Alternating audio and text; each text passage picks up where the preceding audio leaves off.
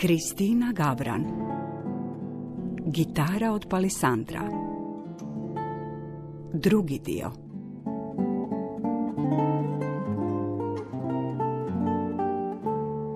Aša bijaše još djevojčica. Bezbrižno trčeše po livadama, veraše se po drveću i igraše sa životinjama.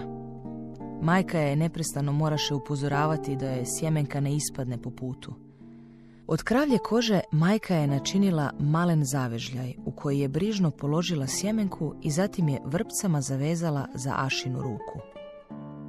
Gdje god bi pleme došlo, domoroci ih nisu voljeli. Gađahu ih kamenjem i štapovima. Ali su ih se i bojali.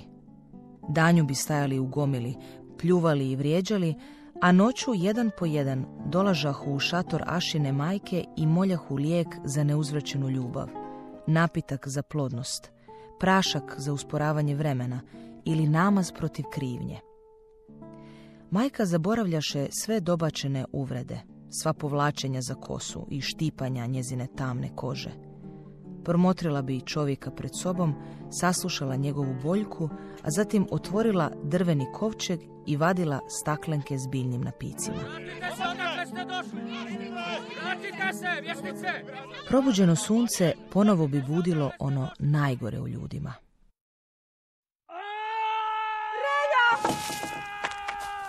Ruža potrči prema šumi. Već je gotovo zakoračila na most, ali muškarci je zaustave pokretom ruke. Nije smjela prijeći granicu. Čitava desna noga bila mu je smrskana, izvitoperena, kao da ne pripada njegovom tijelu. Meso i koža tvorili su ljigavu masu koja je otpadala s kostiju. Spustili su nosila na travu, a ruža se baci prema relji, ljubeći mu čitavo tijelo. Relja! Idem po pomoć. Ti mu vode mu dajte. Trebamo ispraviti nogu. A drvo? A što je bilo s drvetom? Nije ga imao tko nositi.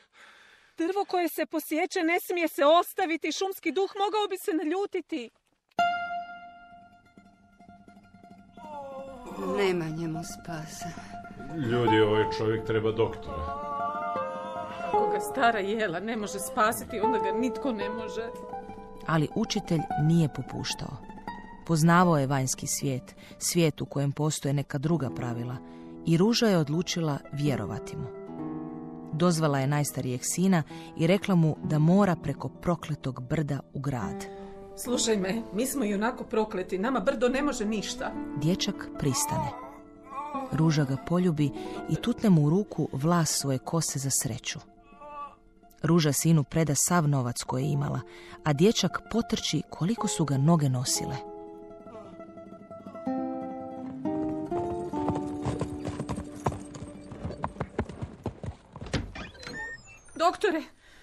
Doktore, doktore, pomozite. Pregledao je nogu i zatražio relju da pomakne stopalo. Ali ma koliko se relja trudio, prsti su ostali jednako nepomični kao i prije. Šanse su male. Najvjerojatnije će do sutra biti mrtav. Doktore, ako postoji, ako postoji najmanja šansa, evo, evo, evo vam, evo vam ova naušnica. Da, daću vam je drugu ako relja preživi. Doktor iz torbe izvadi britu i konop. Prereže konop, pa jedan kraj preda jeli koja je čitavo vrijeme sjedila kraj reljina uzglavlja i pojila ga rakijom. Jela priveže relji ruke i stavi mu drvenu letvicu među zube da grize kad bude trebao. Drugim dijelom konopa doktor poveže nogu u visini bedra i zatim prisloni britvu na čizmu koja je još uvijek bila na reljinoj nozi. Doktor je odvajao čizmu od potkoljenice. Odbaci razderanu čizmu na pod i zatraži ružu najoštriji nož u kući, a ona mu hitro donese onaj kojem je klala kokoši. Doktor snažnom šakom obuji mi dršku noža i zatim sasjeće od koljena prema potkoljenici. Relja je na drvu lomio zube kako bi zatomio vrisak. Rez je bio dubok, do samih kostiju. Kad je odložio nož, Relja se onesvijesti. Bijelina njegovih kostiju svjetlucala je na suncu koje se probijalo kroz zatvorene prozore. Tijelo moje poput žeravice. Je li bila dobra odluka dovesti doktora? Rana treba biti otvorena. Relja.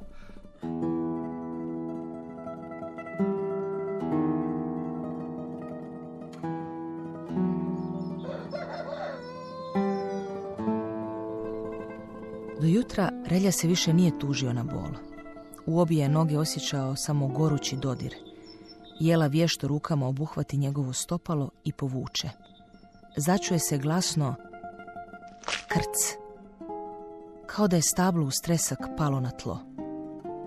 Bila je to reljina kost koja je prisilno vraćena na svoje mjesto. Zatim Jela posloži daske u udlagu oko njegove noge. Poveže ih sve konopcem i osigura da se noga ne miče. Rakije. Dajte mi rakije. Drvosiće su odlazili u šumu bez relje koji je bio osuđen na krevet. Pokušavali su pronaći ono stablo koje je relje oborio, ali ono kao da je u zemlju propalo. Nakon svakog odlaska u šumu vraćali su se krcati drvom. Još desetak dana i morat će srušiti most i ostaviti šumu na miru. I ruža je osjećala sve snažniji vjetar, odjekivo je šuplje kroz praznu smočnicu. Nisu imali novca da kupe hranu.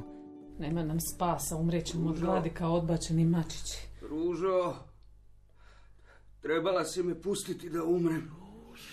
Što ćeš ti sa mnom, Ružo? A isto što i dosad relja. Stani, Ruža. Znam kamo ideš. Trebala bi paziti na dijete. Pa veliki su, snaći će se sami. Ne mislim na njih petero. Ako nemamo što jesti, onda uzelu dijete donosim na svijet. Ti odluči što ćeš. Ali ako ideš u šumu, pripazi da ne uzmeš drvo bez pitanja. Ružo, Ružo.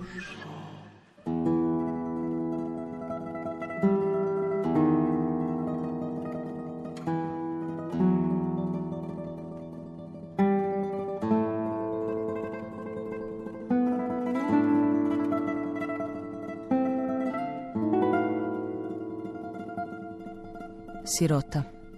Nije se ni snašla, a drugi su je odabrali ime. Sirotica. Ime se lijepilo za njezina leđa kao šećerna vata. Pristajalo joj je uz novu odjeću koju je Albert kupio, uz prašinu pod noktima, uz tihi glas kojem je govorila. Otkako se sirotica uselila u njegovu kuću, kao da je odahnuo, jer je odlazak na tržnicu mogao prepustiti njoj, a ona je uživala u gradskim gužvama. Albert je bio prestar da joj bude muž, a premlad da joj bude otac. Radio je po čitav dan, te kad više nije imao dovoljno svjetla za precizno mjerenje, završio bi posao i pozvao je.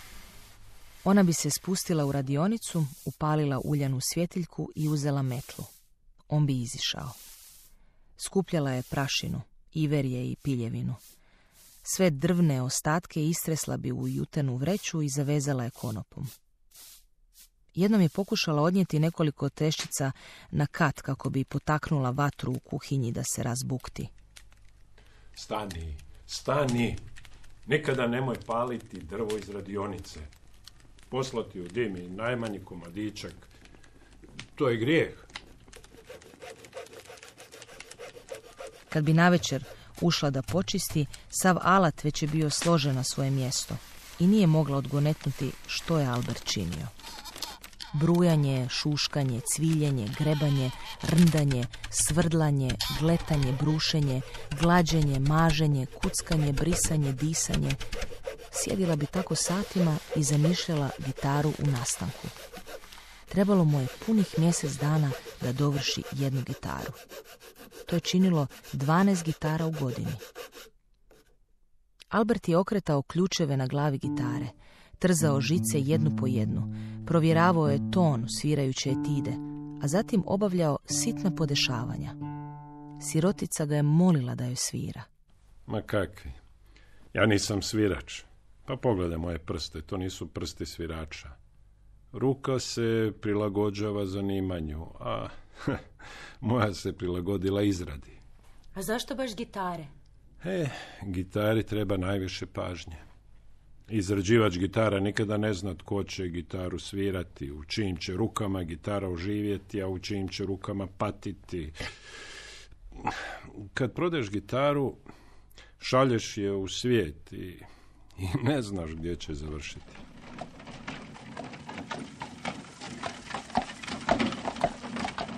Pojavio se sutradan. Kola su bila prekrivena plahtama. Svaka daska bila je pažljivo umotana i zaštićena od prašine na cesti. Albert je pažljivo istovarivao s kola jednu po jednu dasku i unosio je u radionicu. Novo drvo kao da je pomladilo kuću. Lice mu je bilo ozareno, a ruke poletne. Nije donio puno drva, ali potrošio je sav novac. Predao je sirotici torbu, odbio ponuđenu kavu i zatvorio za sobom vrata radionice. Palisandar je bilo ime drveta iz dalekih krajeva koje je Albert pronašao kod svog uobičajenog trgovca. Radilo se o drvu visoke kvalitete i tamne, zagasite boje. Na njemu su se ocrtavali uski godovi, bilo je tvrdo na dodir, suho i podatno, a pri udarcu ruke odavalo je zvonkost skrivenu u unutrašnjosti. Sirotica je krenula po metlu, ali on je zaustavi. Ne treba. Danas nisam ništa radio. S palisandrom treba oprezno. Ne želim ga zarezati prije nego što dobijem dopuštenje. U zraku je osjetila miris ruža, ali nekako prigušen, suptilan, nježan. Zapalila je uljanu svjetiljku i objesila je na čavao. Približila se stolu. Na njemu su ležale dvije tamne drvene plohe, izrezane uz pomoć kalupa u zavinutu šaru, kao dva znaka epsilon što se naslanjaju jedan na drugi u ogledalu. Kleknula je na pod i dodirnula piljevinu. Bila je glatka poput brašna za pitu. Zagrabila je šaku piljevine i ugurala je u džep na pregači. Ostatak je sakupila metlom na lopaticu i prosula u jutenu vreću u kutu radionice. Sirotica se zavukla u svoju tavansku sobicu i odriješila pregaču. Na krevet je prostrala maramu i na nju prosula piljevinu. Legla je na krevet i mirisala, prstima praveći šare u piljevini. U glavi joj se mutilo, kao da ju je miris omamio. Osjetila je kako tone u san.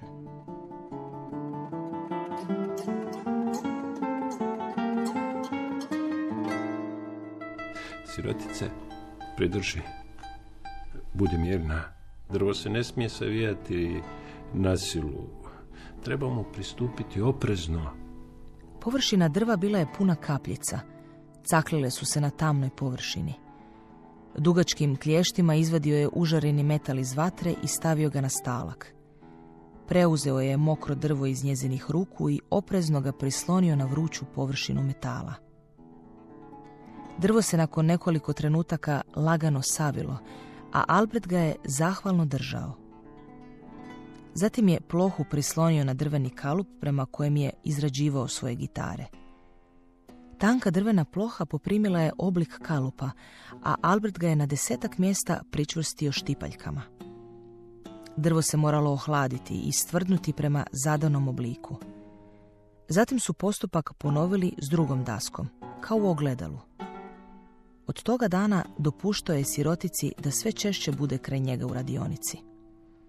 Albert joj je pričao o gitarama, o razdoblju šegrtovanja i svome životu. Njegov otac izrađivao je drvene klupe i kičasto izrezbarene ispovjedaonice za crkve.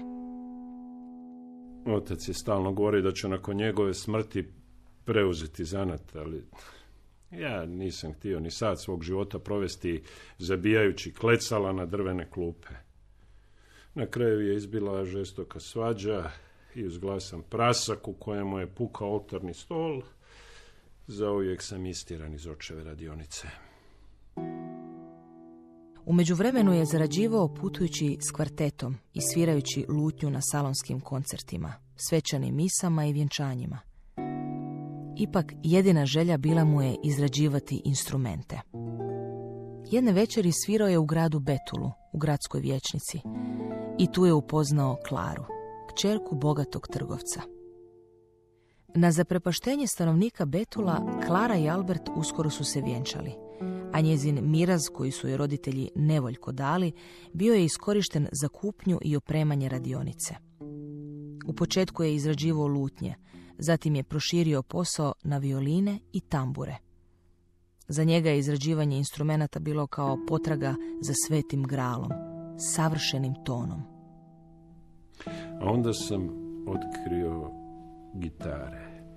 A što je bilo s Klarom? Što je bilo s Klarom?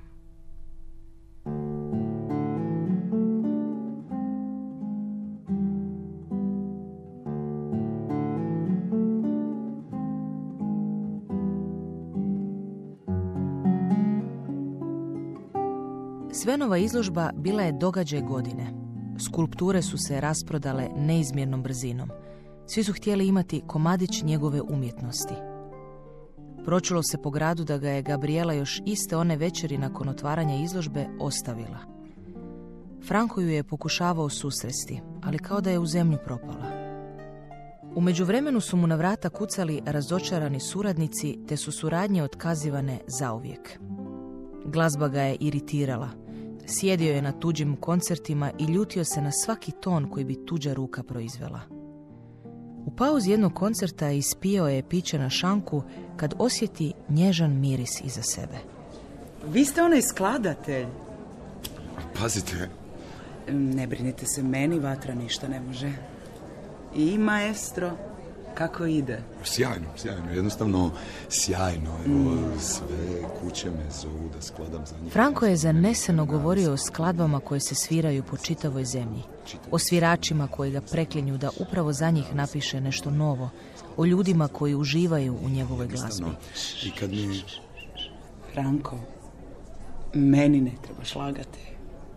Tim jednim dodirom gurnula ga je s ruba po kojem je već mjesecima plesao i njegov se oklop razbio u krhotine.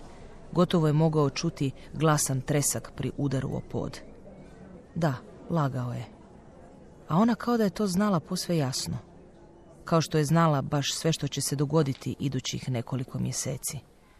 Bio je u nju ludo zaljubljen. Bila je savršena. Ona je pak istraživala njegov studio, prolazila je kroz papire sa skladbama, dodirivala našiljene olovke, u tišini brojila crne i bijele tipke na klaviru, listala knjige, isprobavala drvene stolce, namještala se kao mačka u naslonjaču, prstima brisala prašinu s fikusa u kutu sobe. Ključem je okrenula bravu i kopča je popustila. Gitara, predivna je. Ajde, odsviraj mi nešto. Ma ne, ne, ne, gledaj, evo, nokti mi nisu dobri i bi... Trebalo bi promijeniti žice. Ej, pa grijeh je ne svirati ovakvu gitaru.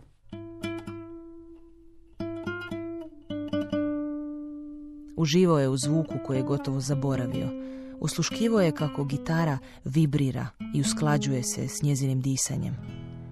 Znao je da ga sluša, iako nije otvorila oči. Da, pronašao je svoju inspiraciju. Svirao joj je satima, improvizirao je, ponavljao fraze, a zatim bjesomučno zapisivao u bilježnicu kako ih ne bi zaboravio. Glavna tema skladbe pojavila se u jednoj šetnji, samo od sebe. Nametnula se između brojnih drugih. Ubrzo je postala jasnija, razgovjetnija, glasnija. Otkrivala je svoje različite strane i varijacije. Uzbuđeno je zapisivao note i slagao papire jedan na drugi. Njegova je opčinjenost Gabrielom rasla. Htio je pustiti korijenje u njezinom tijelu. Imati je samo za sebe. Voliš li me? Ja volim sve. Kad bi mi rodila djecu. Pa ti si posve poludio. Zar ne znaš kakve gluposti govoriš? Pomisao da postane dom drugom tijelu grozila ju je. Nije u tome bilo sebičnosti, tek jasna spoznaja da želi biti samo svoja. Sva njezina tjelesnost bila je u službi ljepote. Nijednim dijelom sebe nije htjela postati majka. Zanimala ju je samo umjetnost. Njegov strah od gubitka stajao je između njih kao nepozvani treći gost. Dobro, što je vama muškarcima? Zašto sve morate posjedovati? Gabriela, stani! Idućih pet dana nije ju vidio. Njegov studio činio mu se prazan. Ipak nije se zatvorio u tišinu. Sva njegova tuga pretočila se u novi stavak.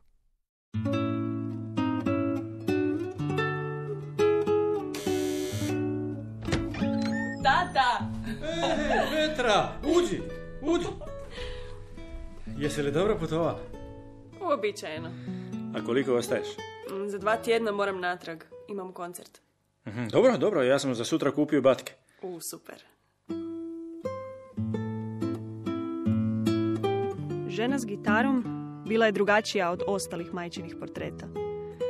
Na njoj je bila žena koja je držala gitaru. Instrument je bio u prvom planu, a ženi se vidjelo tek lice u poluprofilu i gole ruke. Na vratu gitare, negdje oko 12. praga, nalazio se velik ožiljak, kao da je netko dlijetom oštetio taj mekani dio drva ili udario gitarom o nešto oštro. Kad mi je bilo pet godina, mama me odvela na prvi gitaristički koncert. Glazba koju sam tada čula pratila me još danima nakon koncerta, sve dok mami sramežljivo nisam rekla da bih i ja htjela svirati. S osam godina održala sam prvi koncert nakon kojega su mi prikačili naziv Čudo od djeteta. Mama me pratila na putovanjima i skupljala moje nagrade kao figurice, te ih slagala u staklenu vitrinu. A tog dana kad je tata došao po mene u školu, znala sam da nešto nije u redu. Tu je već bila tetka uplakanog crvenog lica. Ona mi je rekla da je mama mrtva. Udario ju je auto na pješačkom prijelazu. Ostali smo sami, tata i ja. I svatko je od nas liječio tugu na svoj način.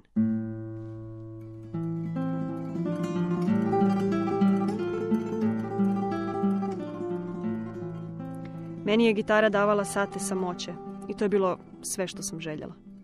Sa 17 sam završila akademiju, a s 18 sam primljena na master u Americi.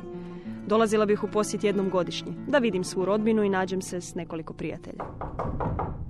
Petra, ručak. Tata, mogu te nešto pitati? Mhm. Ti nikada nisi kužio maminu umjetnost. Kako to da ste se tako dobro slagali? A možda baš zbog toga. Oboji smo imali svoje svjetove. Pa ne kužim ni tebe, a što da radim? Zašto si odlučio da se više nikada ne oženiš? A, Petra, pa ne budi smiješna, pa takve se stvari ne odlučuju. One jednostavno, one se dogode. Da sam upoznao neku ženu koja bi mi bila upola zanimljiva kao tvoja mama, sigurno bi se oženio. A, na, na, nikad nije kasno, tko zna što me još čeka. Ajde, ajde, ajde, ajde, ručak je gotov. I meni se činilo da što više razmišljam o svojoj trudnoći, to se više odmičem od konačne odluke. A možda odluke i nema. Možda jednostavno treba ići za onim što se dogodilo. Dok su racionalna objašnjenja naginjala jednome, moje umorno tijelo poručivalo mi je nešto sasvim drugo. Lista protiv, turneja, maks, koncerti, financije, moji studenti, nedostatak vremena, samoća. Lista za, želja. No prvo sam trebala javiti Maksu.